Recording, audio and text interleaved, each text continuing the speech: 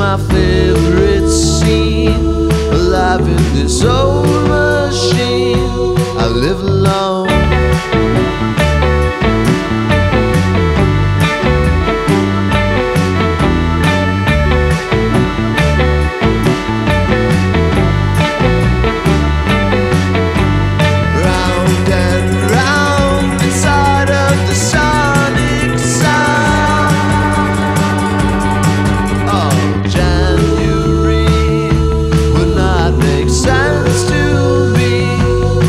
just be